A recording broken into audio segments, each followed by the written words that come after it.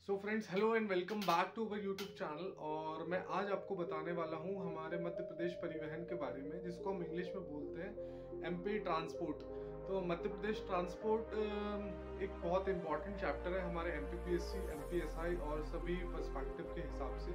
तो सबसे first of all हम जैसे किसी भी प्रदेश को या किसी भी राज्य को या किसी भी शहर को जोड़ने का सबसे ज़्यादा योगदान जो करता है, वो होता है हमारा ट्रांसपोर्ट मतलब हमारा परिवहन सबसे आवश्यक चीज़ है और जो किसी एक शहर से दूसरे शहर को जोड़ता है।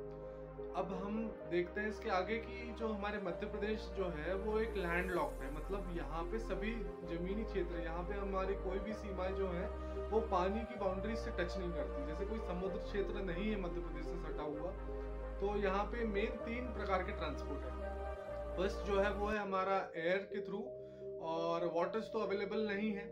तो समुद्री मार्ग से कोई रास्ता ही नहीं है तो लैंड लॉक्ड है।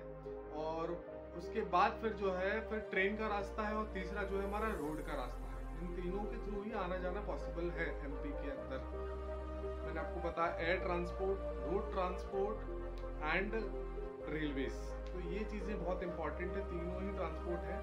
और इसके बाद जो है हमारा किसी भी प्रकार के कार्य में, जैसे कृषि से संबंधित हो, संसाधन हो, या हमारे उपभोक्ता हो कोई भी काम के लिए किसी को लाने ले जाने के लिए हमें ट्रांसपोर्ट की आवश्यकता पड़ती है।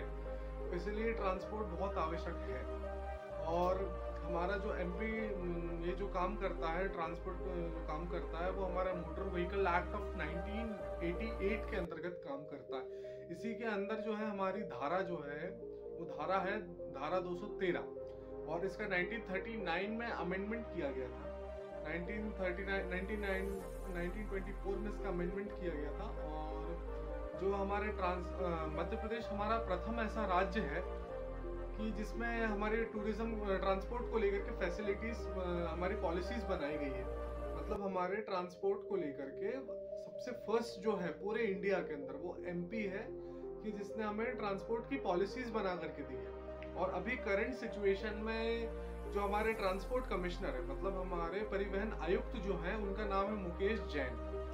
ठीक है तो ये है हमारा मध्य प्रदेश ट्रांसपोर्ट के बारे में, और मैं आपको बताने वाला हूँ नेशनल हाईवेज तो नेशनल हाईवेज जो होते हैं नेशनल हाईवेज किसी राज्य को, किसी बड़े शहर को, दूसरे शहर से, किसी राज्य को, अन्य राज्य से जोड़ने के काम आता है।